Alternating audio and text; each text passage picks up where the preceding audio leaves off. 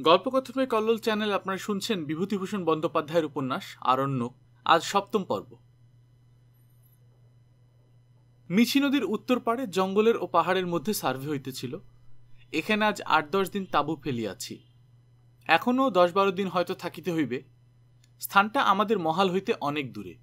রাজা দবরু দবরুপান্নার রাজত্বের কাছাকাছি। রাজত্ব বলিলাম বটে, কিন্তু রাজা দবরু তো রাজ্যহীন রাজা। তাহার আবাসস্থলের খানিকটা নিকটে বলা যায়। বড় চমৎকার জায়গা। একটা উপত্যকা, মুখের দিকটা বিস্তৃত, পেছনের দিক সংকীর্ণ। পূর্বে পশ্চিমে পাহাড় শ্রেণি, মধ্যে এই অশ্বক্ষুরাকৃতি উপত্যকা। বন্ধুর ও জঙ্গলাকীর্ণ। ছোট বড় পাথর ছড়ানো সর্বত্র, কাটা বাঁশের বন, আরও নানা গাছপালা জঙ্গল। অনেকগুলি পাহাড়ি ঝর্ণা উত্তর দিক হইতে নামিয়া উপত্যকার মুক্ত প্রান্ত দিয়া বাহিরের দিকে চলিয়াছে। এইসব ঝর্ণার দুধারে বন বড় বেশি ঘন এবং এতদিনের বনবাসের অভিজ্ঞতা হইতে জানি এইসব জায়গাতেই বাঘের ভয়।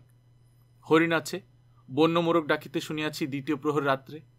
ফেবের ডাক শুনিয়াছি বটে, তবে বাঘ দেখি নাই বা আওয়াজও পাই নাই।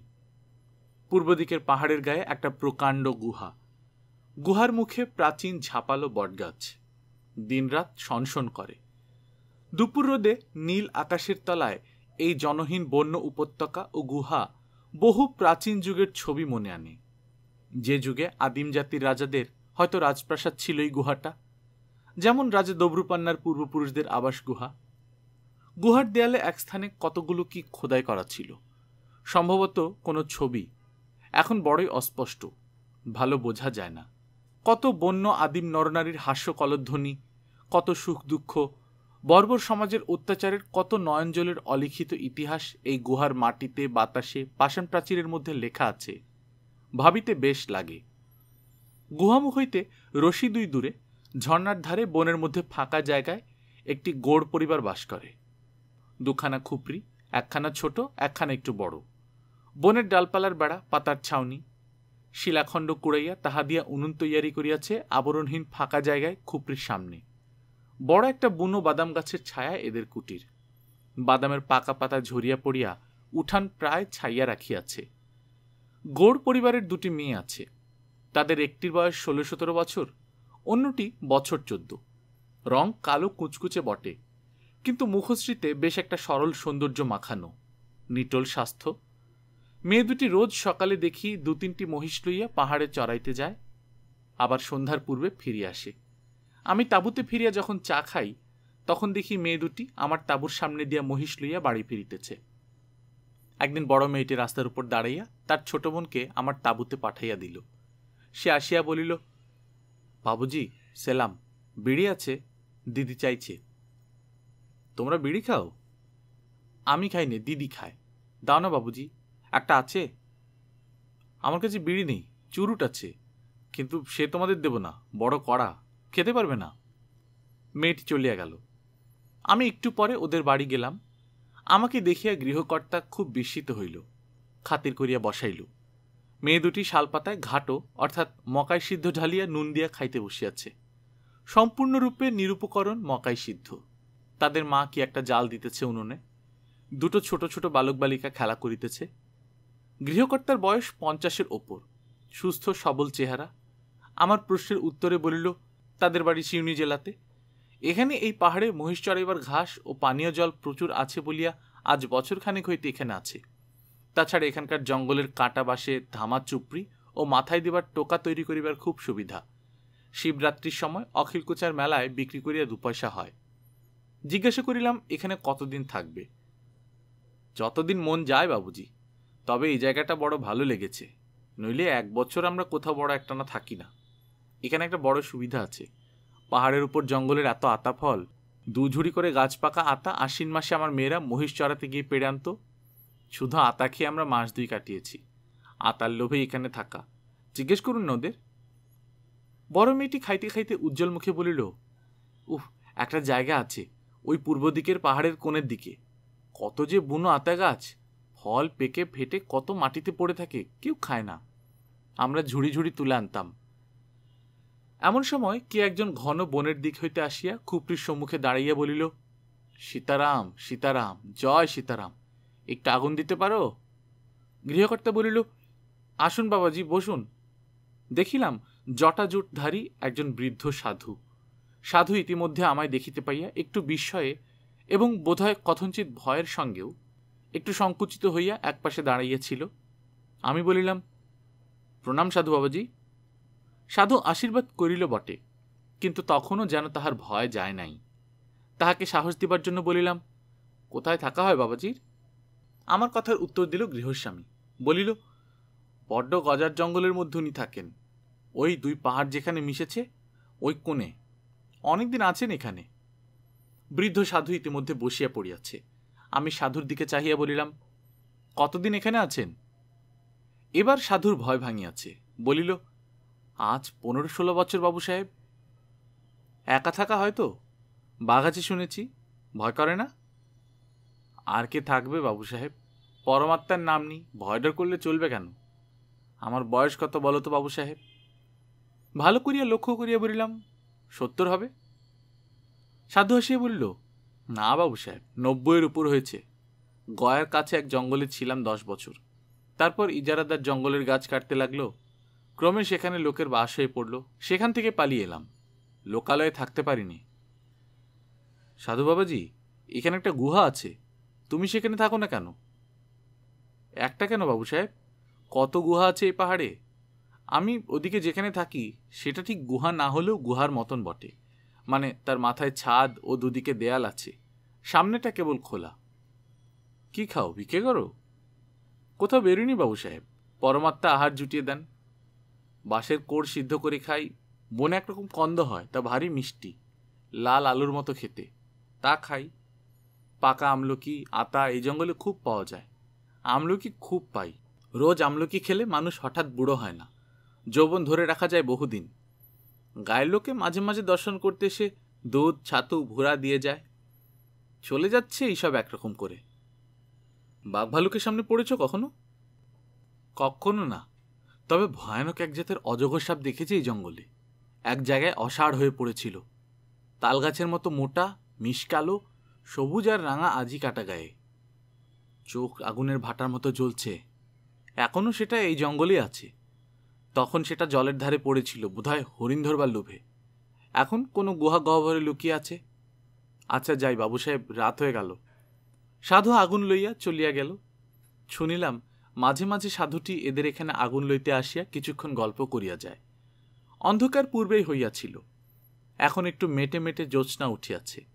উপত্যকার বনানী অদ্ভুত নীরবতায় ভরিয়া গিয়াছে। কেবল পার্শ্বস্থ পাহাড়ি ঝর্ণার কুলুকুলু স্রোতের ধ্বনি ও কদাচিৎ দু একটা বন্য মোরগের ডাক ছাড়া কোনো শব্দ কানে আসে না। তাঁবুতে ফিরিলাম। পথে বড় একটা শিমুল গাছে ঝাঁক ঝাঁক জোনাকি জ্বলিতেছে। ঘুরিয়া ঘুরিয়া চক্রাকারে উপর হইতে নিচু দিকে, নিচু হইতে ওপরের দিকে, নানারূপ জ্যামিতিক ক্ষেত্র অঙ্কন করিয়া আলো আধারের পটভূমিতে। এখানেই একদিন আসিল কবি বেঙ্কটেশ্বর প্রসাদ। লম্বা, রোগা চেহারা, কালো সার্জের কোট গায়ে, আধময়লা ধুতি পরনে, মাথার চুল রুক্ষ ও এলোমেলো, বয়স চল্লিশ ছাড়াই আছে। ভাবিলাম, চাকুরির ওমেদার বলিলাম, কি চাই? সে বলিল, বাবুজির দর্শন প্রার্থী হয়ে এসেছি। হুজুর বলিয়া সম্বোধন করিল না। আমার নাম বেঙ্কটেশ্বর প্রসাদ। বাড়ি বিহার শরীফ, পাটনা জেলা। এখানে চকমকিটোলায় থাকি। তিন মাইল দূর এখান থেকে। ও, তা এখানে কি জন্যে? বাবুজি যদি দয়া করে অনুমতি করেন, তবে বলি। আপনার সময় নষ্ট করছি নে? আমি ভাবিতেছি, লোকটা চাকরির জন্যই আসিয়াছে। কিন্তু হুজুর না বলাতে সে আমার শ্রদ্ধা আকর্ষণ করিয়াছিল। বলিলাম, বসুন, অনেক দূর থেকে হেঁটে এসেছেন এই গরমে। আরেকটি বিষয় লক্ষ্য করিলাম, লোকটির হিন্দি খুব মার্জিত। সেরকম হিন্দিতে আমি কথা বলিতে পারি না। সিপাহী পেয়াদা ও গ্রাম্য প্রজা লইয়া আমার কারবার। আমার হিন্দি তাহাদের মুখে শেখা দেহাতি বুলির সহিত বাংলা ইডম মিশ্রিত একটা জগা খিচুড়ি ব্যাপার। এ ধরনের ভদ্র ও পরিমার্জিত ভব্য হিন্দি কখনো শুনি নাই। তা বলিব কিরূপে? সুতরাং একটু সাবধানের সহিত বলিলাম, কি আপনার আসার উদ্দেশ্য, বলুন? সে বলিল, আমি আপনাকে কয়েকটি কবিতা শোনাতে এসেছি। দোস্তুর মতো বিস্মিত হইলাম। এই জঙ্গলে আমাকে কবিতা শোনাইতে আসিবার এমন কি গরজ পড়িয়াছে লোকটির? হইলই বা কবি? বলিলাম, আপনি একজন কবি? শুনে খুশি হলাম। আপনার কবিতা খুব আনন্দের সঙ্গে শুনব, কিন্তু আপনি কি করে আমার সন্ধান পেলেন? এই মাইল তিন দূরে আমার বাড়ি, পাহাড়ের ঠিক ওপারেই। আমাদের গ্রামের সবাই বলছিল, কলকাতা থেকে এক বাঙালি বাবু এসেছেন। আপনাদের কাছে বিদ্যার বড় আদর, কারণ আপনারা নিজে বিদ্যান।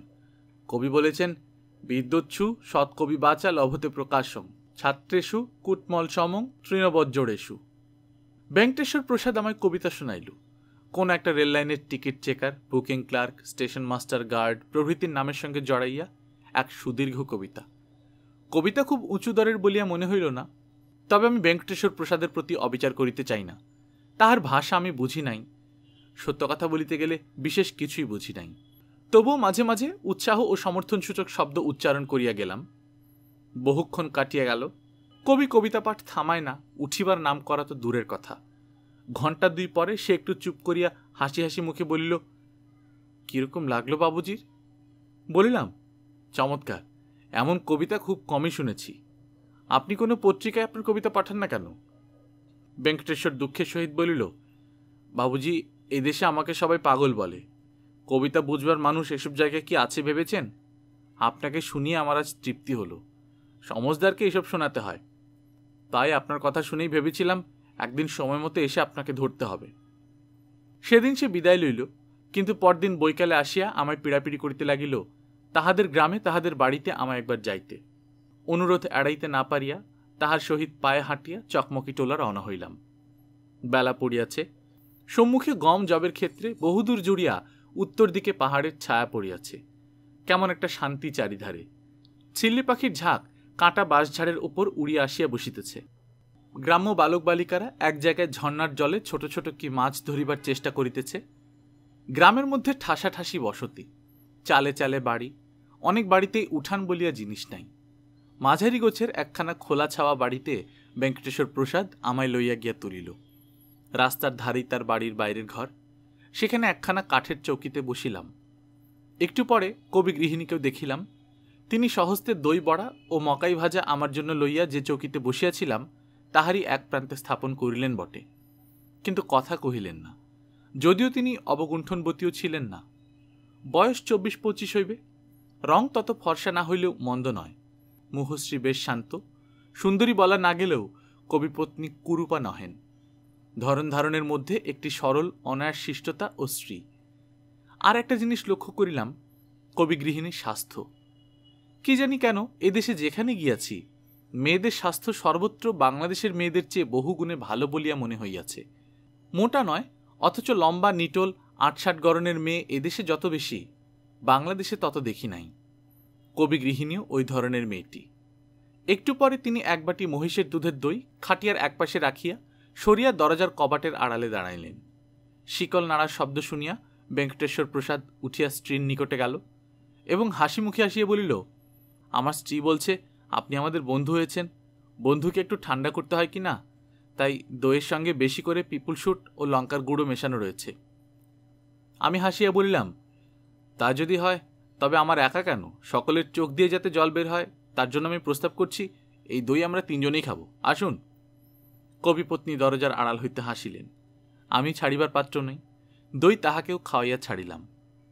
একটু পরে কবিপত্নী বাড়ির মধ্যে চলিয়া গেলেন এবং একটা থালা হাতে আবার আসিয়া খাটিয়ার প্রান্তে থালাটি রাখিলেন।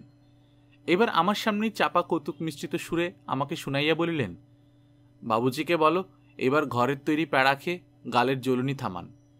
কি সুন্দর মিষ্টি মেয়েলির ঠেট হিন্দি বলি। বড় ভালো লাগে এই অঞ্চলের মেয়েদের মুখে এই হিন্দির টানটি। নিজে ভালো হিন্দি বলিতে পারি না বলিয়া আমার কথ্য হিন্দির প্রতি বেজায় আকর্ষণ। বইয়ের হিন্দি নয়।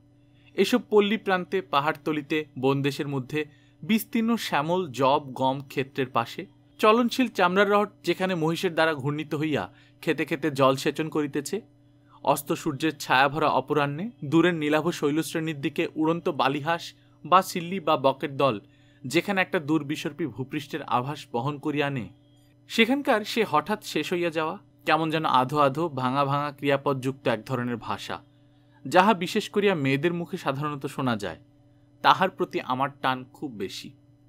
হঠাৎ আমি কবিকে বলিলাম, দয়া করে দু একটা কবিতা পড়ুন না আপনার? বেঙ্কটেশ্বর প্রসাদের মুখ উৎসাহে উজ্জ্বল দেখাইল। একটি গ্রাম্য প্রেম কাহিনী লইয়া কবিতা লিখিয়াছে, সেটি পড়িয়া শুনাইল। ছোট্ট একটি খালের এপারের মাঠে এক তরুণ যুবক বসিয়া ভুট্টার ক্ষেত পাহারা দিত। খালের ওপারের ঘাটে একটি মেয়ে আসিত, নিত্য কলসি কাঁখে জল ভরিতে। ছেলেটি ভাবিত, মেয়েটি বড় সুন্দর। অন্যদিকে মুখ ফিরাইয়া শীষ দিয়া গান করিত। ছাগল গরু তাড়াইত। মাঝে মাঝে মেয়েটির দিকে চাহিয়া দেখিত। কত সময় দুজনের চোখাচোখি হইয়া গিয়াছে, অমনি লজ্জায় লাল হইয়া কিশোরী চোখ নামাইয়া লইত। ছেলেটি রোজ ভাবিত, কাল সে মেয়েটিকে ডাকিয়া কথা কহিবে। বাড়ি ফিরিয়া সে মেয়েটির কথা ভাবিত। কত কাল কাটিয়া গেল কত কাল আসিল কত চলিয়া গেল, মনের কথা আর বলা হইল না।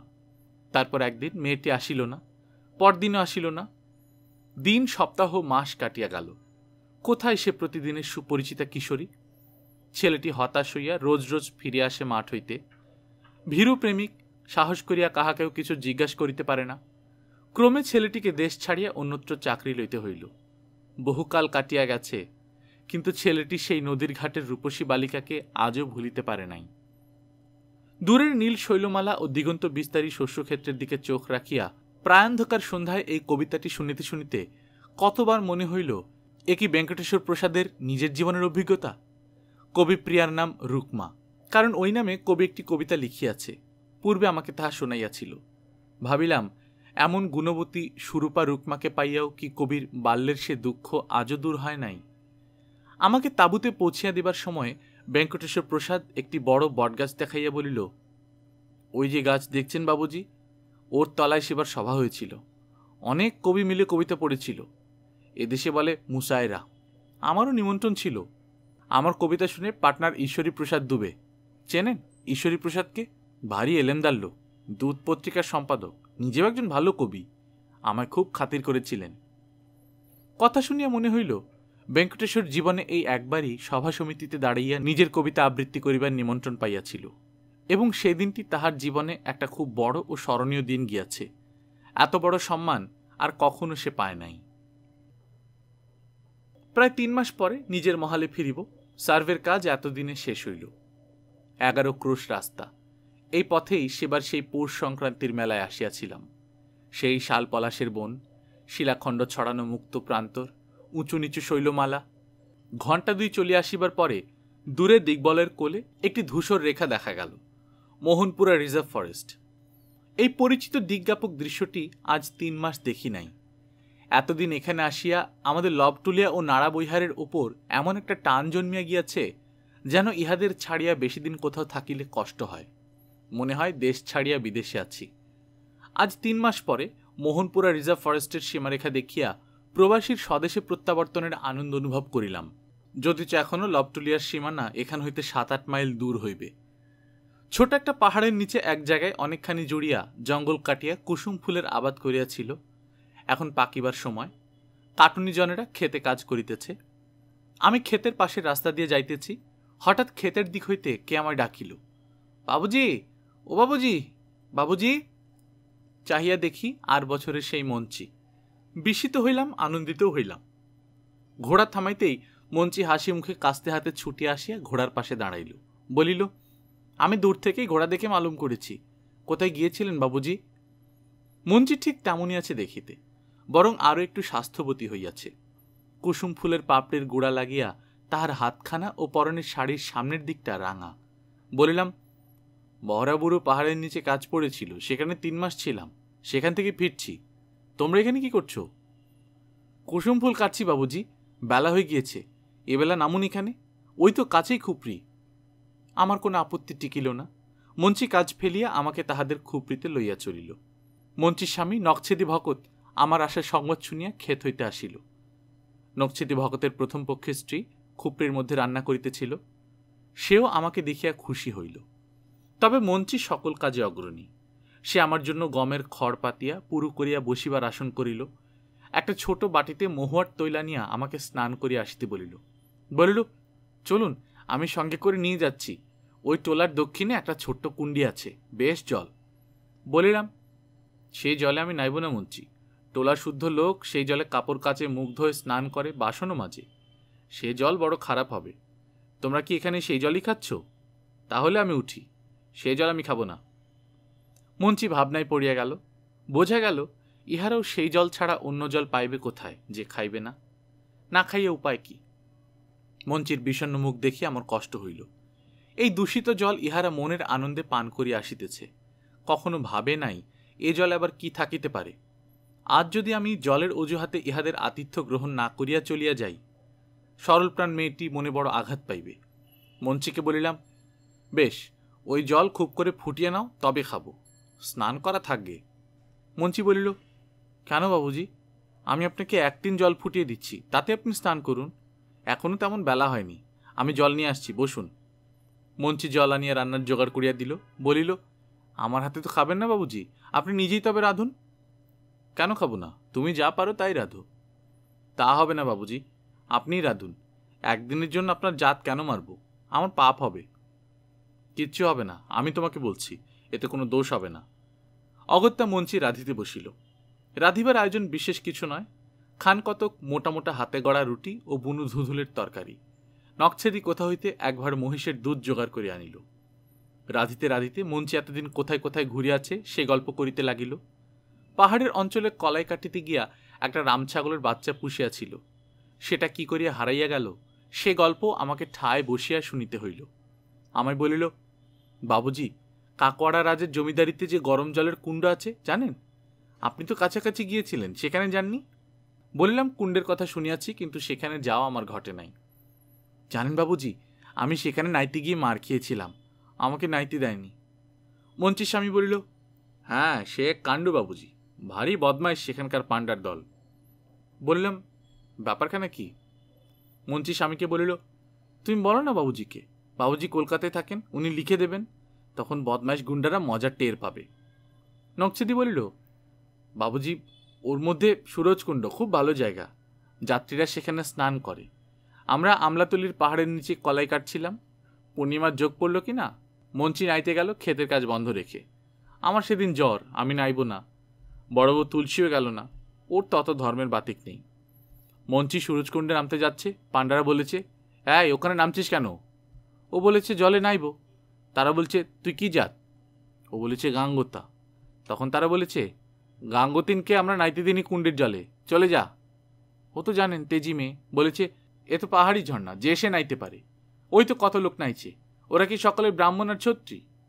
বলে, যেই সে নাইতে গেছে, অমনি দুজন ছুটে এসে টেনে হিঁচড়ে মারতে মারতে সেখান থেকে তাড়িয়ে দিলে। ও কাঁদতে কাঁদতে ফিরে এলো। তারপর কি হলো? কি হবে বাবুজি, আমরা গরিব গাঙ্গতা কাটনি মজুর আমাদের ফরিয়াদ কে শুনবে? আমি বলি কাঁদিস নি তোকে আমি মুঙ্গেরের সীতাকুণ্ডে নাই আনব। মঞ্চি বলিল, বাবুজি, আপনি একটু লিখে দেবেন তো কথাটা? আপনাদের বাঙালি বাবুদের কলমের খুব জোর, পাজিগুলো জব্দ হয়ে যাবে।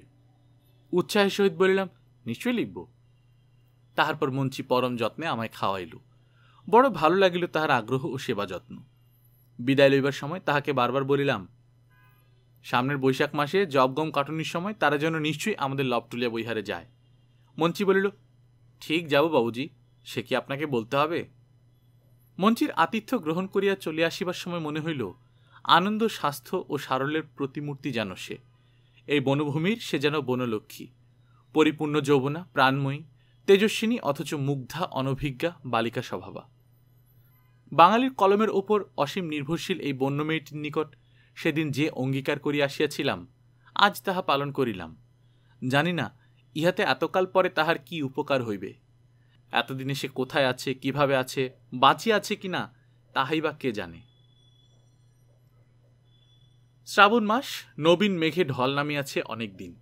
নাড়া ও লবটুলিয়া বইহারে কিংবা গ্র্যান্ড সাহেবের বটতলায় দাঁড়াইয়া চারিদিকে চাও। শুধুই দেখো সবুজের সমুদ্রের মতো নবীন কচি কাশবন। একদিন রাজা দবরুপান্নার চিঠি পাইয়া শ্রাবণ পূর্ণিমায় তার ওখানে ঝুলনোৎসবের নিমন্ত্রণ রক্ষা করিতে চলিলাম। রাজু ও মটুকনাথ ছাড়িল না, আমার সঙ্গে তাহারাও চলিল। হাঁটিয়া যাইবে বলিয়া উহারা রওনা হইল আমার আগেই। বেলা দেড়টার সময় ডোঙায় মিছি নদী পার হইলাম। দলের সকলের পার হইতে আড়াইটা বাজিয়া গেল। দলটিকে পেছনে ফেলিয়া তখন ঘোড়া ছোটাইয়া দিলাম। ঘন মেঘ করিয়া আসিল পশ্চিমে, তারপরেই নামিল ঝমঝম বর্ষা। কি অপূর্ব বর্ষার দৃশ্য দেখিলাম সেই অরণ্য প্রান্তরে। মেঘে দিগন্তের শৈলমালা নীল, থমকানো কালো বিদ্যুৎগর্ভ মেঘে আকাশ ছাইয়া আছে। কদাচিৎ পথের পাশের শাল কি কেঁদ শাখায় ময়ূর পেখম মেলিয়া নৃত্যপরায়ণ? পাহাড়ি ঝর্ণার জলে গ্রাম্য বালক বালিকা মহা উৎসাহে শালকাটির ও বন্যবাসের ঘুনিপাতিয়া কুঁচো মাছ ধরিতেছে। ধূসর শিলাখণ্ড ভিজিয়া কালো দেখাইতেছে। তাহার উপর বসিয়া মহিষের রাখাল কাঁচা শালপাতার লম্বা বিড়ি টানিতেছে। শান্ত, স্তব্ধ দেশ। অরণ্যের পর অরণ্য, প্রান্তরের পর প্রান্তর, শুধুই ঝর্ণা। পাহাড়ি গ্রাম, মরুম ছড়ানো রাঙামাটির জমি, কদাচিৎ কোথাও পুষ্পিত কদম্ব বা পিয়াল বৃক্ষ। সন্ধ্যার পূর্বে আমি রাজা দবরুপান্নার রাজধানীতে পৌঁছিয়া গেলাম। সেবারকার সেই খড়ের ঘরখানা অতিথিদের অভ্যর্থনার জন্য চমৎকার করিয়া লেপিয়া পুছিয়া রাখা হইয়াছে। দেয়ালে গিরিমাটির রং, পদ্মগাছ ও ময়ূর আঁকা, শাল কাঠের খুঁটির গায়ে লতা ও ফুল জড়ানো। আমার বিছানা এখন আসিয়া পৌঁছায় নাই। আমি ঘোড়ায় আগেই পৌঁছিয়াছিলাম। কিন্তু তাহাতে কোনো অসুবিধা হইল না। ঘরে নতুন মাদুর পাতাই ছিল। গোটা দুই ফর্সা তাকিয়াও দেয়া গেল। একটু পরে ভানুমতি একটা বড় পিতলের সরাতে ফলমূল কাটা ও একবাটি জাল দেয়া দুধ লইয়া ঘরে ঢুকিল। তাহার পিছু পিছু আসিল একখানা কাঁচা শালপাতায় গোটা পান, গোটা সুপারি ও অন্যান্য পানের মশলা সাজাইয়া লইয়া আর একটি তাহার বয়সী মেয়ে। ভানুমতির পরনে একখানা জাম রঙের খাটো শাড়ি হাঁটুর উপর উঠিয়াছে। গলায় সবুজ ও লাল হিংলাজের মালা। খোপায় জলজ স্পাইডার লিলি গোজা। আরও স্বাস্থ্যবতী ও লাবণ্যময়ী হইয়া উঠিয়াছে ভানুমতি। নিটল দেহে যৌবনের উচ্ছলিত লাবণ্যের বান ডাকিয়াছে।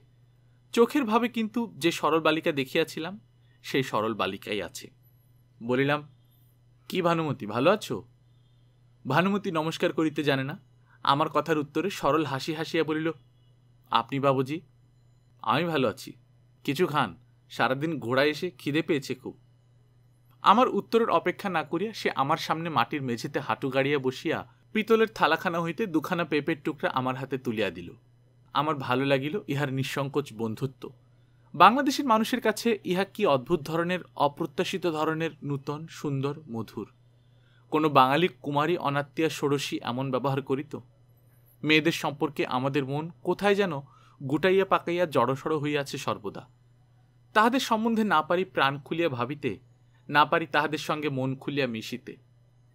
আরও দেখিয়াছি, এদেশের প্রান্তর যেমন উদার, অরণ্যানী মেঘমালা শৈলশ্রেণী যেমন মুক্ত ও দূরচ্ছন্দা, ভানুমতির ব্যবহার তেমনি সংকোচহীন, সরল, বাধাহীন। মানুষের সঙ্গে মানুষের ব্যবহারের মতোই স্বাভাবিক। এমনই পাইয়াছি মঞ্চির কাছে ও বেঙ্কটেশ্বর প্রসাদের স্ত্রীর কাছে। অরণ্য ও পাহাড় এদের মনকে মুক্তি দিয়াছে। দৃষ্টিকে উদার করিয়াছে। এদের ভালোবাসাও সেই অনুপাতে মুক্ত, দৃঢ়, উদার। মন বড় বলিয়া এদের ভালোবাসাও বড়। কিন্তু ভানুমতির কাছে বসিয়া হাতে তুলিয়া দিয়া খাওয়ানোর তুলনা হয় না। জীবনে সেদিন সর্বপ্রথম আমি অনুভব করিলাম নারীর নিঃসংকোচ ব্যবহারের মাধুর্য। সে যখন স্নেহ করে, তখন সে কি স্বর্গের দ্বার খুলিয়া দেয় পৃথিবীতে। ভানুমতির মধ্যে যে আদিম নারী আছে, সভ্য সমাজের সে নারীর আত্মা সংস্কারের ও বন্ধনের চাপে মূর্ছিত। সেবার যেরকম ব্যবহার পাইয়াছিলাম, এবারকার ব্যবহার তার চেয়েও আপন। ভানুমতি বুঝিতে পারিয়াছে, এ বাঙালিবাবু তাদের পরিবারের বন্ধু, তাদেরই শুভাকাঙ্ক্ষী আপনার লোকেদের মধ্যেই গণ্য। সুতরাং যে ব্যবহার তাহার নিকট পাইলাম, তাহার নিজের স্নেহময়ী ভগ্নির মতোই। অনেক কাল হইয়া গিয়াছে, কিন্তু ভানুমতির এই সুন্দর প্রীতি ও বন্ধুত্বের কথা আমার স্মৃতিপটে তেমনি সমুজ্জ্বল। বন্য অসভ্যতার এই দানের নিকট সভ্য সমাজের বহু সম্পদ আমার মনে নিষ্প্রভ হইয়াছে। রাজা দবরু উৎসবের অন্য আয়োজনে ব্যস্ত ছিলেন। এইবার আসিয়া আমার ঘরে বসিলেন। আমি বলিলাম, ঝুলন কি আপনাদের এখানে বরাবর হয়? রাজা দবরু বলিলেন, আমাদের বংশে বহুদিনের উৎসব এটি। এই সময় অনেক দূর থেকে আত্মীয় স্বজন আসে ঝুলনে নাচতে। আড়াই মন চাল রান্না হবে কাল। মটুকনাথ আসিয়াছে পণ্ডিত বিদায়ের লোভে। ভাবিয়াছিল, কত বড় রাজবাড়ি, কি কাণ্ডই আসিয়া দেখিবে? তাহার মুখের ভাবে মনে হইল সে বেশ একটু নিরাশ হইয়াছে। এই রাজবাড়ি অপেক্ষা টোলগৃহ যে অনেক ভালো। রাজু তো মনের কথা চাপিতে না পারিয়া স্পষ্টই বলিল, রাজা কোথায় হুজুর? এ তো এক সাঁওতাল সর্দার। আমার যে কটা মহিষ আছে, রাজা শুনলাম তাও নেই হুজুর। সে ইহারি মধ্যে রাজার পার্থিব সম্পদের বিষয় অনুসন্ধান করিয়াছে। গরু, মহিষ এদেশে সম্পদের বড় মাপকাঠি। যার যত মহিষ, সে তত বড় লোক। গভীর রাত্রে চতুর্দশী জ্যোৎস্না বনের বড় বড় গাছপালার আড়ালে উঠিয়া যখন সেই বন্য গ্রামের গৃহস্থ বাড়ির প্রাঙ্গণে আলো আধারের জাল বনিয়াছে, তখন শুনিলাম রাজবাড়িতে বহু নারীকণ্ঠের সম্মিলিত এক অদ্ভুত ধরনের গান। কাল ঝুলন পূর্ণিমা, রাজবাড়িতে নবাগত কুটুম্বিনী ও রাজকন্যার সহচরীগণ কল্লকার নাচ গানের মহলা দিতেছে। সারা রাত ধরিয়া তাহাদের গান ও মাদল বাজনা থামিল না। শুনিতে শুনিতে কখন ঘুমাইয়া পড়িয়াছি ঘুমের মধ্যে ওদের সেই গান কতবার যেন শুনিতে পাইতেছিলাম। কিন্তু পরদিন ঝুলন উৎসব দেখিয়া মটুকনাথ, রাজু, এমনকি মুনেশ্বর সিং পর্যন্ত মুগ্ধ হইয়া গেল। পরদিন সকালে উঠিয়া দেখি ভানুমতির বয়সী কুমারী মেয়েই অন্তত ত্রিশ জন, চারিপাশের বহু টোলা ও পাহাড়ি বস্তি হইতে উৎসব উপলক্ষে আসিয়া জুটিয়াছে। একটা ভালো প্রথা দেখিলাম, এত নাচগানের মধ্যে ইহাদের কেহই মহুয়ার মদ খায় নাই। রাজা দব্রুকে জিজ্ঞাসা করিতে তিনি হাসিয়া গর্বের সুরে বলিলেন আমাদের বংশে মেয়েদের মধ্যে অনিয়ম নেই। তাছাড়া আমি হুকুম না দিলে কারও সাধ্যি নেই, আমার ছেলে মেয়ের সামনে মদ খায়। মটুকনাথ দুপুরবেলায় আমায় চুপি চুপি বলিল, রাজা দেখছি আমার চেয়ে গরিব। রাতবার জন্য দিয়েছে মোটা রাঙা চাল আর পাকা চাল কুমড়ো আর বুনো ধুধুল। এতগুলি লোকের জন্য কি রাধি বলুন তো? সারা সকাল ভানুমতির দেখা পায় নাই। খাইতে বসিয়াছি, সে এক বাটি দুধা নিয়ে আমার সামনে বসিল। বলিলাম, তোমাদের গান কাল রাত্রে বেশ লেগেছিল। ভানুমতি হাসি মুখে বলিল, আমাদের গান বুঝতে পারেন? কেন পারব না? এতদিন তোমাদের সঙ্গে আছি, তোমাদের গান বুঝব না কেন? আজ ওবেলা আপনি ঝুলন দেখতে যাবেন তো? সেই জন্যই তো এসেছি। কত দূর যেতে হবে? ভানুমতি ধনঝড়ি পাহাড় শ্রেণির দিকে আঙুল দিয়া দেখাইয়া বলিল, আপনি তো গিয়েছেন ও পাহাড়ে, আমাদের সেই মন্দির দেখেননি? এই সময় ভানুমতির বয়সী একদল কিশোরী মেয়ে আমার খাবার ঘরের দরজার কাছে আসিয়া দাঁড়াইল। বাঙালি বাবুর ভোজন পরম কৌতূহলের সহিত দেখিতে এবং পরস্পরে কি বলাবলি করিতে লাগিল। ভানুমতি বলিল, যা সব এখান থেকে, এখানে কি? একটি মেয়ের সাহস অন্য মেয়েদের চেয়ে বেশি। সে একটু আগাইয়া আসিয়া বলিল, বাবুজিকে ঝুলনের দিন নুন করম চা খেতে দিসনি তো? তার এ কথায় পিছনের সব মেয়ে খিলখিল করিয়া হাসিয়া উঠিয়া এ উহার গায়ে গড়াইয়া পড়িল। ভানুমতিকে বলিলাম, ওরা হাসছে কেন? ভানুমতি সলজ্জমুখে বলিল ওদের জিজ্ঞেস করুন, আমি কি জানি। ইতিমধ্যে একটি মেয়ে বড় একটা পাকা কামরাঙ্গা লঙ্কা আনিয়া আমার হাতে দিয়া হাসিয়া বলিল, খান বাবুজি, একটু লঙ্কার আচার। ভানুমতি শুধু আপনাকে মিষ্টি খাওয়াচ্ছে, তা তো হবে না, আমরা একটু ঝাল খাওয়াই। সকলে আবার হাসিয়া উঠিল। এতগুলি তরুণীর মুখের সরল হাসিতে দিন মানেই যেন পূর্ণিমার জ্যোৎস্না ফুটিয়া উঠিয়াছে। সন্ধ্যার পূর্বে একদল তরুণ তরুণী পাহাড়ের দিকে রওনা হইল। তাহাদের পিছু পিছু আমরাও গেলাম। সে এক প্রকাণ্ড শোভাযাত্রা। পূর্ব দিকে নওয়াদা লক্ষ্মীপুরা সীমানায় ধনঝরি পাহাড়, যে পাহাড়ের নিচে মিছি নদী উত্তর বাহিনী হইয়াছে, সেই পাহাড়ের বনশীর্ষে পূর্ণচন্দ্র উঠিতেছে। একদিকে নিচু উপত্যকা, বনে বনে সবুজ, অন্যদিকে ধনঝরি শৈলমালা। মাইলখানে খাটিয়ে আমরা পাহাড়ের পাদদেশে আসিয়া পৌঁছিলাম। কিছুদূর উঠিতে একটা সমতল স্থান পাহাড়ের মাথায়। জায়গাটার ঠিক মাঝখানে একটা প্রাচীন পিয়াল গাছ। গাছের গুড়ি ফুল ও লতায় জড়ানো। রাজা দব্রু বলিলেন, এই গাছ অনেক কালের পুরনো। আমি ছেলেবেলা থেকে দেখে আসছি এই গাছের তলায় ঝুলনের সময় মেয়েরা নাচে। আমরা একপাশে তালপাতার চেটাই পাতিয়া বসিলাম, আর সেই পূর্ণিমার জ্যোৎস্না প্লাবিত বনান্তস্থলিতে প্রায় ত্রিশটি কিশোরী, তরুণী গাছটিকে ঘুরিয়া ঘুরিয়া নাচিতে লাগিল। পাশে পাশে মাদল বাজাইয়া একদল যুবক তাহাদের সঙ্গে সঙ্গে ঘুরিতেছে। ভানুমতিকে দেখিলাম এই দলের পুরো ভাগে। মেয়েদের খোঁপায় ফুলের মালা, গায়ে ফুলের গহনা কত রাত পর্যন্ত সমানভাবে নাচ ও গান চলিল? মাঝে মাঝে দলটি একটু বিশ্রাম করিয়া লয়, আবার আরম্ভ করে। মাদলের বোল, জ্যোৎস্না বর্ষা স্নিগ্ধ বনভূমি, সুঠাম শ্যামা নৃত্যপরায়ণা তরুণীর দল, সব মিলিয়া কোনো বড় শিল্পীর অঙ্কিত একখানি ছবির মতো তার সুশ্রী একটি মাধুরী সঙ্গীতের মতো তার আকুল আবেদন। মনে পড়ে দূর ইতিহাসের সোলাঙ্কি রাজকন্যা ও তার সহচরীগণের এমনই ঝুলন নাচ ও গানের কথা। মনে পড়ে রাখাল বালক বাপ্পাদিত্যকে খেলার ছলে মাল্যদানের কথা। আজু কি আনন্দ, আজু কি আনন্দ, ঝুলত ঝুলনে শ্যামরচন্দ তার চেয়েও বহু দূরের অতীতে, প্রাচীন যুগের, প্রস্তর যুগের ভারতে রহস্যাচ্ছন্ন ইতিহাসের সকল ঘটনা যেন আমার সম্মুখে অভিনীত হইতে দেখিলাম। আদিম ভারতের সে সংস্কৃতি যেন মূর্তিমতি হইয়া উঠিয়াছে সরলা পর্বতবালা ভানুমতি ও তাহার সখীগণের নৃত্যে। হাজার হাজার বছর পূর্বের এমনই কত বন, কত শৈলমালা, এমনই তোর কত জ্যোৎস্না রাত্রি ভানুমতির মতো কত বালিকার নৃত্যচঞ্চল চরণের ছন্দে আকুল হইয়া উঠিয়াছিল, তাহাদের মুখের সেসব হাসি আজও মরে নাই। এসব গুপ্ত অরণ্য ও শৈলমালার আড়ালে প্রচ্ছন্ন থাকিয়া তারা তাদের বর্তমান বংশধরগণের রক্তে আজও আনন্দ ও উৎসাহের বাণী পাঠাইয়া দিতেছে। গভীর রাত্রি। চাঁদ ঢলিয়া পড়িয়াছে পশ্চিম দিকে দূর বনের পেছনে। আমরা সবাই পাহাড় হইতে নামিয়া আসিলাম। সুখের বিষয়, আজ আকাশে মেঘ নাই। কিন্তু আর্দ্র বাতাস শেষ রাত্রে অত্যন্ত শীতল হইয়া উঠিয়াছে। অত রাত্রেও আমি খাইতে বসিলে ভানুমতি দুধ ও প্যাড়া আনিল। আমি বলিলাম, বড় চমৎকার নাচ দেখলাম তোমাদের। সে সলজ্জ হাসি মুখে বলিল, আপনার কি আর ভালো লাগবে বাবুজি? আপনাদের কলকাতায় ওসব কি কেউ দেখে? পরদিন ভানুমতি ও তাহার প্রপিতামহ রাজা দবরু আমায় কিছুতেই আসিতে দেবে না, অথচ আমার কাজ ফেলিয়া থাকিলে চলে না। বাধ্য হইয়া চলিয়া আসিলাম। আসিবার সময় ভানুমতি বলিল বাবুজি, কলকাতা থেকে আমার জন্য একখানা আয়না এনে দেবেন।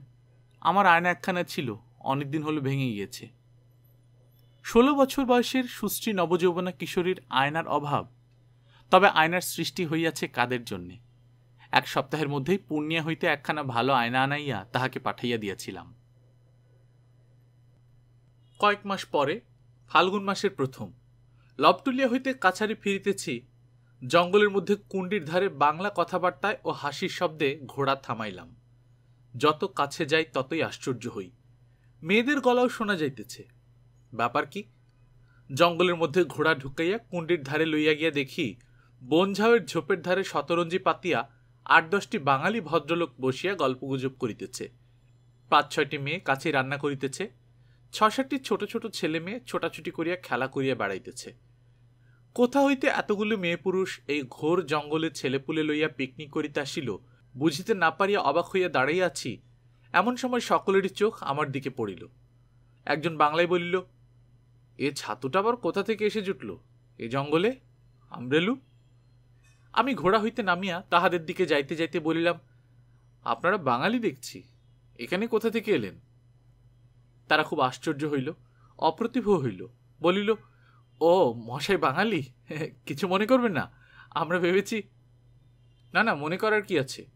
তা আপনারা কোথা থেকে আসছেন? বিশেষ করে মেয়েদের নিয়ে? আলাপ জমিয়া গেল। এই দলের মধ্যে প্রৌঢ় ভদ্রলোকটি একজন retired deputy magistrate Rai Bahadur. বাকি সকলে তার ছেলে, ভাইপো, ভাইঝি, মেয়ে, নাতনি, জামাই, জামাইয়ের বন্ধু ইত্যাদি। রায়বাহাদুর কলিকাতায় থাকিতে একখানি বই পড়িয়া জানিতে পারেন। পূর্ণিয়া জেলায় খুব শিকার মেলে। তাই শিকার করিবার কোনো সুবিধা হয় কিনা দেখিবার জন্য পূর্ণিয়ায় তার ভাই মুনসেফ সেখানেই আসিয়াছিলেন।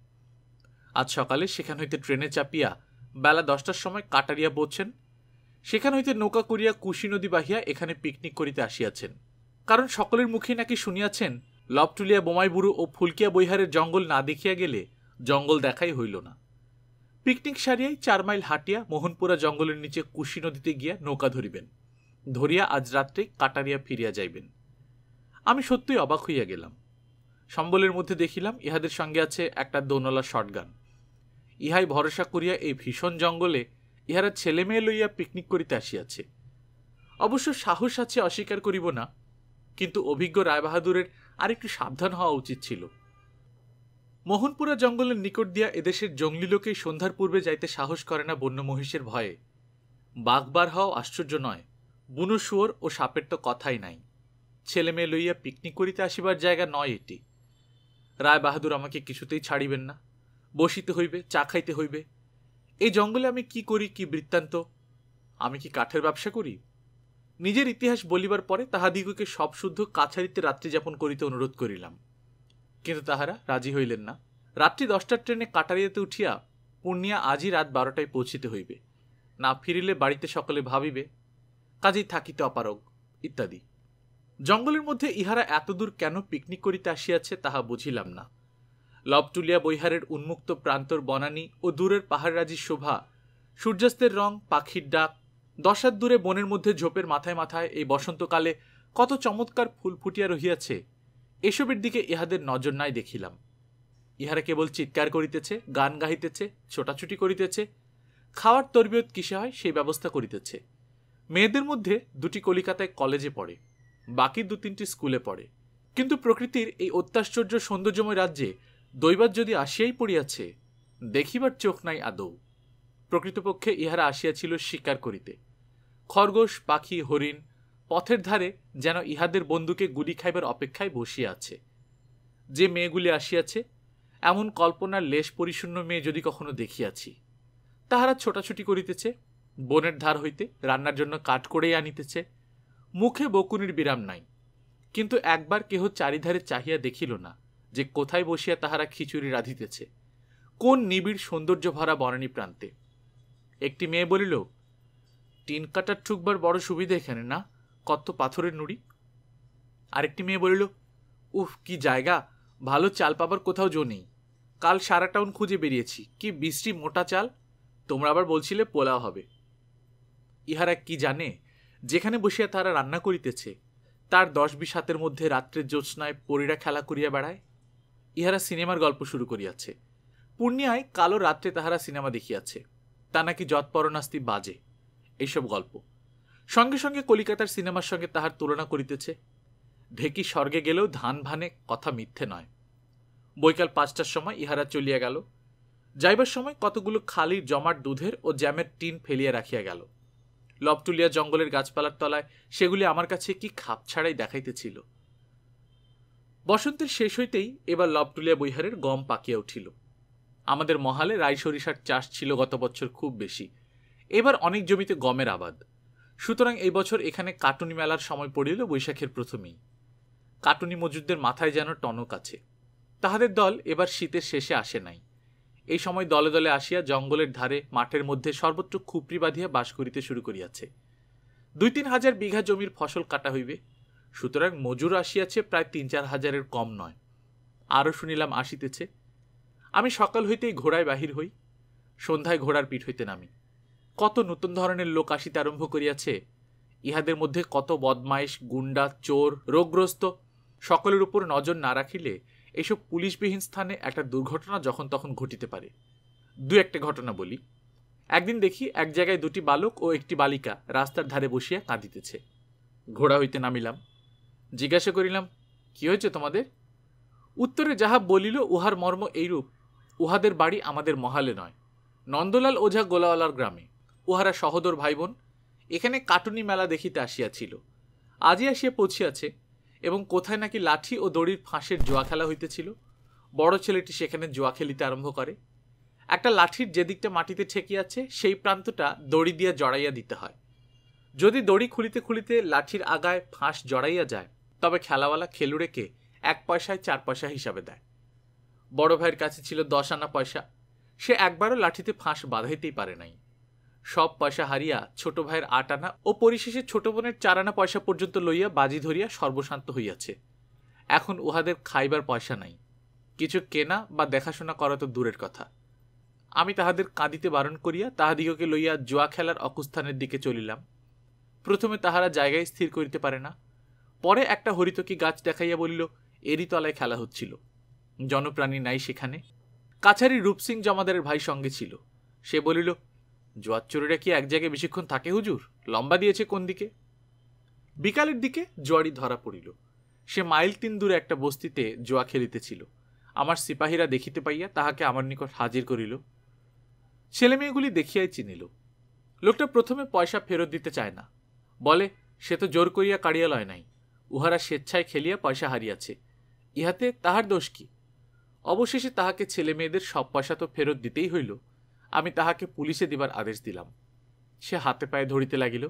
বলিলাম, তোমার বাড়ি কোথায়? বালিয়া জেলা, বাবুজি। এরকম করে লোককে ঠকাও কেন? কত পয়সা ঠকিয়েছ লোকজনের? গরিব লোক, হুজুর। আমায় ছেড়ে দিন এবার। তিন দিনে মোটে দু টাকা তিন আনা রোজগার। তিন দিনে খুব বেশি রোজগার হয়েছে মজুরদের তুলনায়। হুজুর, সারা বছরে এরকম রোজগার কবার হয়? বছরে তিরিশ চল্লিশ টাকা আয়। লোকটাকে সেদিন ছাড়িয়া দিয়াছিলাম। কিন্তু আমাদের মহাল ছাড়িয়া সেদিনই চলিয়া যাইবার করারে। আর তাকে কোনোদিন কেউ আমাদের মহালের সীমানার মধ্যেও দেখে নাই। এবার মঞ্চিকে কাটুনি মজুদদের মধ্যে না দেখিয়া উদ্বেগ ও বিস্ময় দুই অনুভব করিলাম। সে বারবার বলিয়াছিল, গম কাটিবার সময় নিশ্চয়ই আমাদের মহালে আসিবে। ফসল কাটার মেলা আসিল, চলিয়াও গেল। কেন যে সে আসিল না, কিছুই বুঝিলাম না। অন্যান্য মজুরদের নিকট জিজ্ঞাসা করিয়াও কোনো সন্ধান মিলিল না। মনে ভাবিলাম এত বিস্তীর্ণ ফসলের মহাল কাছাকাছির মধ্যে আর কোথাও নাই। এক কুশি নদীর দক্ষিণে ইসমাইলপুরের দিয়ারা মহল ছাড়া। কিন্তু সেখানে কেন সে যাইবে? অত দূরে, যখন মজুরি উভয় স্থানেই এক। অবশেষে ফসলের মেলার শেষ দিকে জনৈক গাঙ্গতা মজুরের মুখে মঞ্চির সংবাদ পাওয়া গেল। সে মঞ্চিকে ও তাহার স্বামী নকছেদি ভকতকে চেনে। একসঙ্গে বহু জায়গায় কাজ করিয়াছে নাকি? তাহাদেরই মুখে শুনিলাম গত ফাল্গুন মাসে সে উহাদের আকবরপুর গভর্নমেন্ট খাসমহালে ফসল কাটিতে দেখিয়াছে। তাহার পর তাহারা যে কোথায় গেল, সে জানে না। ফসলের মেলা শেষ হইয়া গেল জ্যৈষ্ঠ মাসের মাঝামাঝি। এমন সময় একদিন সদর কাছারির প্রাঙ্গণে নকছেদি ভকতকে দেখিয়া বিস্মিত হইলাম। নকছেদি আমার পা জড়াইয়া হাওমাও করিয়া কাঁদিয়া উঠিল। আরও বিস্মিত হইয়া পা ছাড়াইয়া লইয়া বলিলাম, কি ব্যাপার? তোমরা এবার ফসলের সময় আসুনি কেন? মঞ্চি ভালো আছে তো? কোথায় সে? উত্তরে নকছেদি যাহা বলিল, তাহার মোট মর্ম এই, মঞ্চি কোথায় তাহা সে জানে না। খাসমহলে কাজ করিবার সময় মঞ্চি তাহাদের ফেলিয়া কোথায় পালাইয়া গিয়াছে। অনেক খোঁজ করিয়াও তাহার পাত্তা পাওয়া যায় নাই। বিস্মিত ও স্তম্ভিত হইলাম, কিন্তু দেখিলাম বৃদ্ধ নকছেদি ভকতের প্রতি আমার কোনো সহানুভূতি নাই। যা কিছু ভাবনা সবই সেই বন্য মেয়েটির জন্য। কোথায় সে গেল, কে তাহাকে ভুলাইয়া লইয়া গেল, কি অবস্থায় কোথায় বা সে আছে? সস্তা বিলাসদ্রব্যের প্রতি তাহার যেরকম আসক্তি লক্ষ্য করিয়াছি, সেসবের লোভ দেখাইয়া তাহাকে ভুলাইয়া লইয়া যাও কষ্টকর নয়। তাহাই ঘটিয়াছে নিশ্চয়ই। জিজ্ঞাসা করিলাম, তার ছেলে কোথায়? সে নেই, সে বসন্ত হয়ে মারা গিয়েছে মাঘ মাসে। অত্যন্ত দুঃখিত হইলাম শুনিয়া। বেচারি পুত্র শোকেই উদাসী হইয়া যেদিকে দুচোখ যায়, চলিয়া গিয়াছে নিশ্চয়ই। কিছুক্ষণ চুপ করিয়া থাকি বলিলাম, তুলসী কোথায়? সে এখানেই এসেছে, আমার সঙ্গেই আছে। আমায় কিছু জমি দিন হুজুর, নইলে আমরা বুড়ো বুড়ি ফসল কেটে আর চলে না। মঞ্চি ছিল, তার জোরে আমরা বেড়াতাম। সে আমার হাত পা ভেঙে দিয়ে গেছে। সন্ধ্যার পর নকছেদের খুপড়িতে গিয়া দেখিলাম, তুলসী তাহার ছেলে মেয়ে লইয়া চিনার দানা ছাড়াইতেছে। আমায় দেখিয়া তুলসী কাঁদিয়া উঠিল। দেখিলাম, মঞ্চি চলিয়া যাওয়াতে সেও যথেষ্ট দুঃখিত। বলিল, হুজুর, সবই বুড়োর দোষ। গভর্নমেন্টের লোক মাঠে সব টিকে দিতে এলো, বুড়ো তাকে চারানা পয়সা ঘুষ দিয়ে তাড়ালে। কাউকে টিকে নিতে দিলে না। বললে, টিকে নিলে বসন্ত হবে। হুজুর তিন দিন গেল না, মঞ্চির ছেলেটার বসন্ত হলো। মারাও গেল। তার শোকে সে পাগলের মতো হয়ে গেল। খায় না, দায় না, শুধু কাঁদে। তারপর? তারপর হুজুর খাসমহল থেকে আমাদের তাড়িয়ে দিলে। বললে, বসন্তে তোমাদের লোক মারা গিয়েছে, এখানে থাকতে দেব না। এক ছোকরা রাজপুত মঞ্চের দিকে নজর দিত। যেদিন আমরা খাসমহল থেকে চলে এলাম, সেই রাতেই মঞ্চি নিরুদ্দেশ হলো। আমি সেদিন সকালে ওই ছোকরাকে খুপড়ির কাছে ঘুরতে দেখেছি। ঠিক তার কাজ, হুজুর। ইদানিং মঞ্চি বড় কলকাতা দেখব কলকাতা দেখব করতো। তখনই জানি কিছু একটা ঘটবে। আমারও মনে পড়িল, মঞ্চি আর বছর কলিকাতা দেখিবার যথেষ্ট আগ্রহ দেখাইয়াছিল বটে। আশ্চর্য নয়, ধূর্ত রাজপুত যুবক সরলা বন্য মেয়েটিকে কলিকাতা দেখাইবার লোভ দেখাইয়া ভুলাইয়া লইয়া যাইবে। আমি জানি, এই অবস্থায় এদেশের মেয়েদের শেষ পরিণতি হয় আসামের চা বাগানে কুলিগিরিতে। মঞ্চির অদৃষ্টি কি শেষকালে নির্বান্ধব আসামের পার্বত্য অঞ্চলে দাসত্ব ও নির্বাসন লেখা আছে? বৃদ্ধ নকছিদের উপর খুব রাগ হইল। এই লোকটাই যত নষ্টের মূল। বৃদ্ধ বয়সে মঞ্চিকে বিবাহ করিতে গিয়াছিল কেন? দ্বিতীয়ত, গভর্নমেন্টের টিকাদারকে ঘুষ দিয়ে বিদায় করিয়াছিল কেন? যদি উহাকে জমি দেই, সে ওর জন্য নয়। উহার প্রৌঢ়া স্ত্রী তুলসী ও ছেলে মেয়েগুলির মুখের দিকে চাহিয়াই দিব। দিলামও তাই নাড়া বৈহারে শীঘ্র প্রজা বসাইতে হইবে। সদর আপিসের হুকুম আসিয়াছে। প্রথম প্রজা বসাইলাম নকছে দিকে নাড়া বৈহারে ঘোর জঙ্গল। মাত্র দু চার ঘর প্রজা সামান্য জঙ্গল কাটিয়া খুপড়ি বাঁধিতে শুরু করিয়াছে। নকছিদি প্রথমে জঙ্গল দেখিয়া পিছাইয়া গিয়াছিল। বলিল, হুজুর, দিন মানেই বাঘে খেয়ে ফেলে দেবে ওখানে। কাচ্চা বাচ্চা নিয়ে ঘর করি। তাহাকে স্পষ্ট বলিয়া দিলাম, তার পছন্দ না হয় সে অন্যত্র চেষ্টা দেখুক। নিরুপায় হইয়া নকছেদি নাড়া বৈহারের জঙ্গলেই জমি লইল। সে এখানে আসা পর্যন্ত আমি কখনো তাহার খুপড়িতে যাই নাই। তবে সেদিন সন্ধ্যার সময় নাড়া বৈহারের জঙ্গলের মধ্য দিয়ে আসিতে দেখি ঘন জঙ্গলের মাঝখানে খানিকটা ফাঁকা জায়গা। নিকটে কাশের দুটি ছোট খুপড়ি। একটার ভেতর হইতে আলো বাহির হইতেছে। সেটিই যে নকছেদির তা আমি জানিতাম না। ঘোড়ার পায়ের শব্দ শুনিয়া যে প্রৌঢ়া স্ত্রীলোকটি খুপড়ির বাহিরে আসিয়া দাঁড়াইল, দেখিলাম সে তুলসী। তোমরা এখানে জমি নিয়েছ? নকছেদি কোথায়? তুলসী আমায় দেখিয়া থতমত খাইয়া গিয়াছে। ব্যস্ত সমস্ত হইয়া গমের ভুসি ভরা একটা চটের গদি পাতিয়া দিয়ে বলিল, নামুন বাবুজি বসুন একটু। ও গিয়েছে লপটুলিয়া তেল নুল কিনে আনতে দোকানে, বড় ছেলেকে সঙ্গে নিয়ে গেছে। তুমি এই ঘন বনের মধ্যে একা আছো? ওসব শুয়ে গিয়েছে বাবুজি, ভয় ডর করলে কি আমাদের মতো গরিবদের চলে? একা তো থাকতে হতো না, কিন্তু অদৃষ্ট যে খারাপ মঞ্চি যতদিন ছিল, জলে জঙ্গলে কোথাও ভয় ছিল না। কি সাহস, কি তেজ ছিল তার বাবুজি তুলসী তাহার তরুণ সপত্নীকে ভালোবাসিত। তুলসী ইহাও জানে যে বাঙালি বাবু মঞ্চির কথা শুনিতে পাইলে খুশি হইবে। তুলসীর মেয়ে সুরতিয়া বলিল, বাবুজি, একটা নীলগায়ের বাচ্চা ধরে রেখেছি, দেখবেন?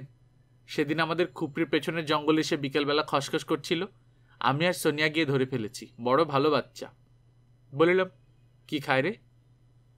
শুধু চিনার দানার ভুসি আর গাছের কচি পাতা। আমি কচি কেত পাতা তুলে এনে দিই। তুলসী বলিল দেখা না বাবুজিকে? সুরতিয়া ক্ষিপ্র পদে হরিণীর মতো ছুটিয়া খুপড়ির পিছন দিকে অদৃশ্য হইল। একটু পরে তাহার বালিকা কণ্ঠের চিৎকার শোনা গেল। আরে, নীলগাইয়া তো ভাগলো হই রে সনিয়া। উধার, ইধার, জলদি পাকড়া। দুই বোনে হুটাপুটা করিয়া নীলগায়ের বাচ্চা পাকড়াও করিয়া ফেলল এবং হাঁপাইতে হাঁপাইতে হাসি মুখে আমার সামনে আনিয়া হাজির করিল। অন্ধকারে আমার দেখিবার সুবিধার জন্য তুলসী একখানা জ্বলন্ত কাঠ উঁচু করিয়া ধরিল। সুরতিয়া বলিল কেমন? ভালো না বাবুজি? একে খাবার জন্য কাল রাত্রে ভাল্লুক এসেছিল। ওই মহুয়া গাছে কাল ভাল্লুক উঠেছিল মহুয়া ফুল খেতে। তখন অনেক রাত। বাপমা ঘুমোয়, আমি সব টের পাই। তারপর গাছ থেকে নেমে আমাদের খুপড়ির পেছনে দাঁড়াল। আমি একা বুকের মধ্যে জড়িয়ে নিয়ে শুই রাতে। ভাল্লুকের পায়ের শব্দ পেয়ে ওর মুখ হাত দিয়ে জোর করে চেপে আরও জড়িয়ে ধরে শুয়ে রইলুম। ভয় করল না রে তোর, সুরতিয়া? ইস, ভয় বই কি? ভয় আমি করিনি। কাঠকুড়োতে গিয়ে জঙ্গলে কত ভাল্লুক ঝড় দেখি, তাতেও ভয় করিনি। ভয় করলে চলে বাবুজি। সুরতিয়া বিজ্ঞের মতো মুখখানা করিল। বড় বড় কলের চিমনির মতো লম্বা কালো কেঁদ গাছের গুড়ি ঠেলিয়া আকাশে উঠিয়াছে খুপড়ির চারিধারে, যেন ক্যালিফোর্নিয়া রেডউড গাছের জঙ্গল। বাদুর ও নিশাচর কাঁক পাখির ডানা ঝটাপটি ডালে ডালে, ঝোপে ঝোপে অন্ধকারে জোনাকির ঝাঁক জ্বলিতেছে। খুপড়ির পেছনের বনে শিয়াল ডাকিতেছে। এই কয়টি ছোট ছেলে মেয়ে লইয়া উহাদের মা যে কেমন করিয়া এই নির্জন বনে প্রান্তরে থাকে, তাহা বুঝিয়া ওঠা কঠিন। হে বিজ্ঞ, রহস্যময় অরণ্য, আশ্রিত জনের প্রতি তোমার সত্যিই বড় কৃপা। কথায় কথায় বলিলাম মঞ্চি নিজের সব জিনিস নিয়ে গিয়েছে? সুরতিয়া বলিল, ছোট মা কোনো জিনিস নিয়ে যায়নি। ওর যে বাক্সটা সেবার দেখেছিলেন, ফেলেই রেখে গিয়েছে। দেখবেন? আনছি। বাক্সটা আনিয়ে সে আমার সামনে খুলিল।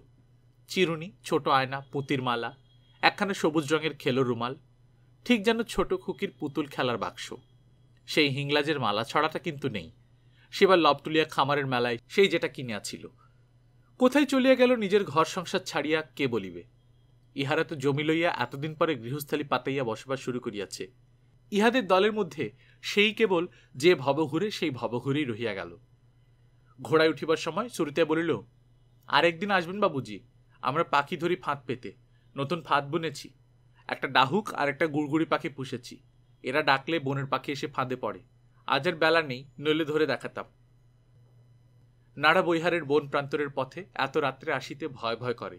বাঁয়ে ছোট একটি পাহাড়ি ঝর্ণার জলস্রোত কুলকুল করিয়া বহিতেছে। কোথায় কি বনের ফুল ফুটিয়াছে, গন্ধে ভরা। অন্ধকার এক এক জায়গায় এত নিবিড় যে ঘোড়ার লোম দেখা যায় না। আবার কোথাও নক্ষত্রালোকে পাতলা। নাড়া বৈহার, নানা প্রকার বৃক্ষলতা, বন্যজন্তু ও পাখিদের আশ্রয়স্থান। প্রকৃতি ইহার বনভূমি ও প্রান্তরকে অজস্র সম্পদে সাজাইয়াছে। সরস্বতী কুণ্ডী এই নাড়া বৈহারেরই উত্তর সীমানায়। প্রাচীন জরিপের থাক নকশায় দেখা যায়, সেখানে কুশি নদীর প্রাচীন খাত ছিল। এখন মজিয়া মাত্র ওইটুকু জল অবশিষ্ট আছে। অন্যদিকে সেই প্রাচীন খাতি ঘন অরণ্যে পরিণত। কি অবর্ণনীয় শোভা দেখিলাম এই বনভূমির সেই নিস্তব্ধ অন্ধকার রাত্রে। কিন্তু মন খারাপ হইয়া গেল যখন বেশ বুঝিলাম, এই নাড়া বৈহারের বন আর বেশি দিন নয়। এত ভালোবাসি ইহাকে, অথচ আমার হাতেই ইহা বিনষ্ট হইল। দুই বছরের মধ্যেই সমগ্র মহালটি প্রজাবিলি হইয়া কুষ্টির টোলা ও নোংরা বস্তিতে ছাইয়া ফেলিল বলিয়া। প্রকৃতির নিজের হাতে সাজানো তার শত বছরের সাধনার ফল এই নাড়াবৈহার ইহার অতুলনীয় বন্য সৌন্দর্য ও দুর্বিসর্পী প্রান্তর লইয়া বেমালুম অন্তর্হিত হইবে। অথচ কি পাওয়া যাইবে তাহার বদলে? কতগুলি খোলার চালের বিশ্রী ঘর গোয়াল, মকাই জনারের ক্ষেত সনের গাদা, দড়ির চারপাই, হনুমানজির ধ্বজা ফণিমনসার গাছ, যথেষ্ট দোক্তা, যথেষ্ট খৈনি, যথেষ্ট কলেরা ও বসন্তের মরক হে অরণ্য, হে সুপ্রাচীন, আমায় ক্ষমা করিও। গল্পকথন বাই কল্লোল চ্যানেলে আপনারা শুনছিলেন বিভূতিভূষণ বন্দ্যোপাধ্যায়ের উপন্যাস আরণ্যক, আজ সপ্তম পর্ব। আমরা নিয়মিত গল্প পাঠ করে শোনাচ্ছি। আপনারা যারা প্রথমবার মতো শুনছেন, কাইন্ডলি সাবস্ক্রাইব করে নেবেন। গল্প পাঠ ভালো লাগলে বন্ধুদের সাথে শেয়ার করবেন। নিজে ভালো থাকবেন, আশেপাশের লোকজনকে ভালো রাখবেন। টাটা।